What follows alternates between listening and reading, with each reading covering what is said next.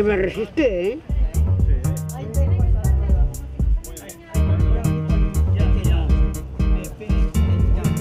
Quitando lo- los tomates que están estropeados, porque se los comen los bichitos. Plantar tomateras, ensaladas y especias. Mm, Me, me gusta mucho.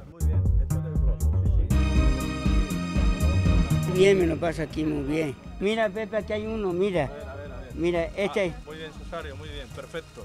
Per ells representa un lepte. No és que siguin coses tremendament complicades, i sempre hi ha els tècnics, sempre hi som els tècnics al darrere, que els assessorem si hi ha alguna cosa que no entenen o que no veuen clar, però sí que han de fer tot un seguiment, però són molt ràpids, ho aprenen molt.